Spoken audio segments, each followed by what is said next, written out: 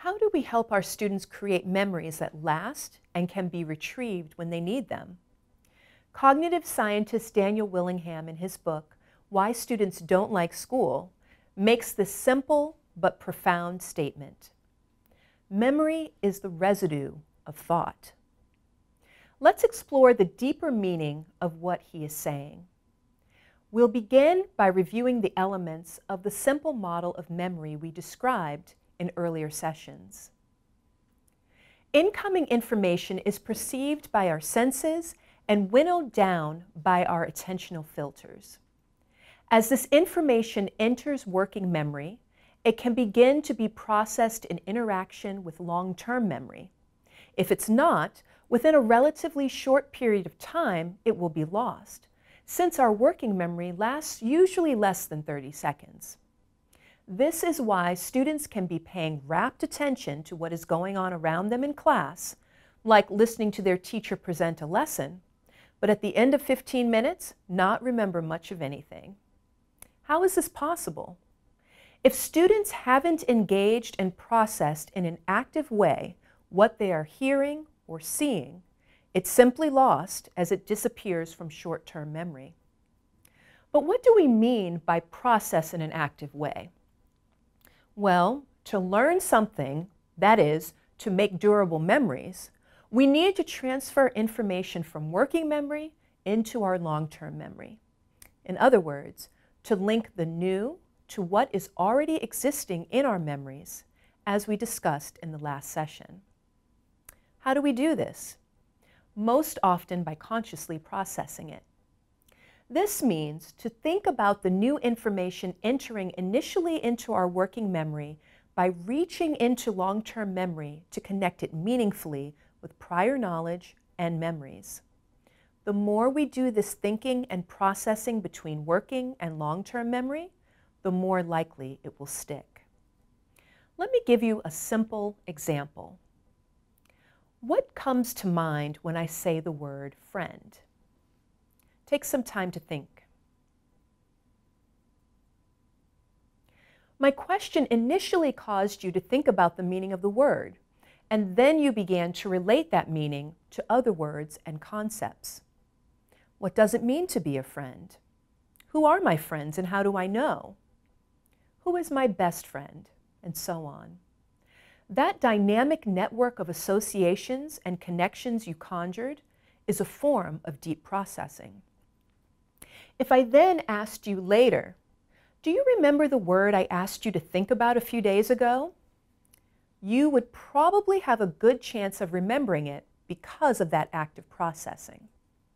On the other hand, you could process the same word in a shallow way I could ask you to count how many letters the word friend has and how many vowels.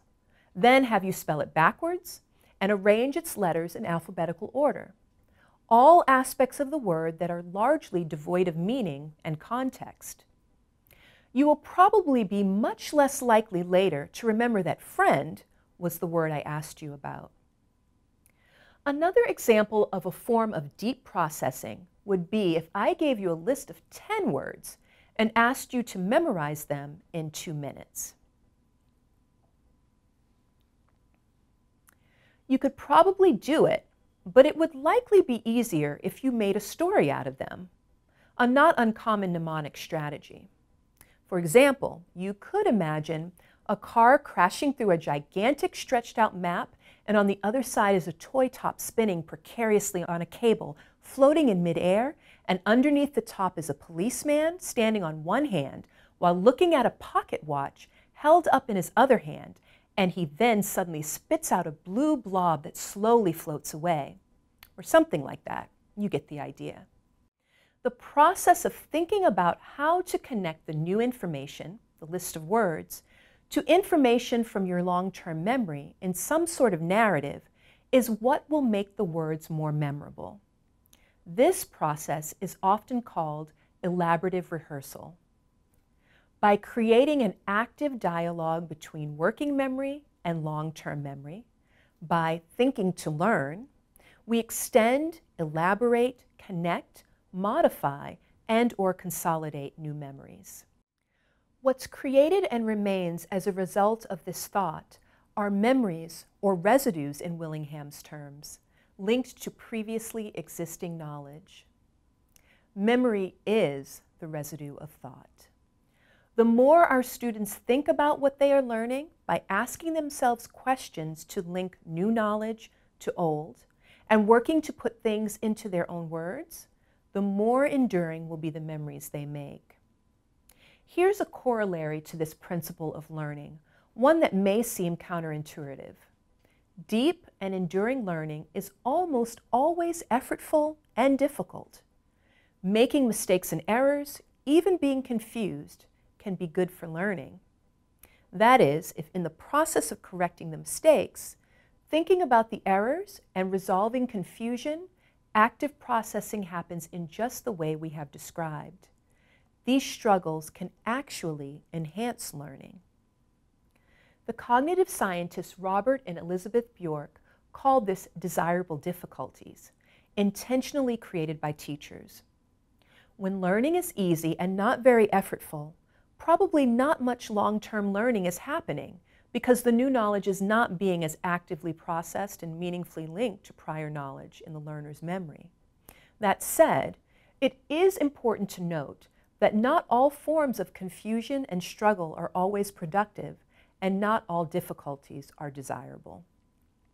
Difficulties that engage deeper processing within the learner's capacities are good, difficulties that simply cause learners to wallow in frustration or not. You need to be the judge of when desirable difficulties turn into undesirable ones. John Dewey, in his book, Democracy and Education, said over a century ago this about learning.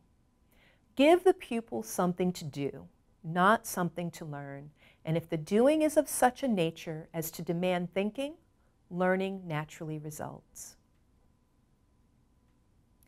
We have to think to learn.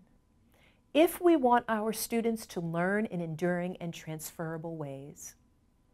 As you can imagine, there are numerous instructional strategies to help our students create long-term memories. Many you no doubt already use. Please refer to the Teaching Strategies section under Making Enduring Memories for more examples. We'll also discuss different forms of deep processing and thinking to learn in week four of our course. In the next session, we are going to learn about how memories are retrieved and what this means for our teaching practices.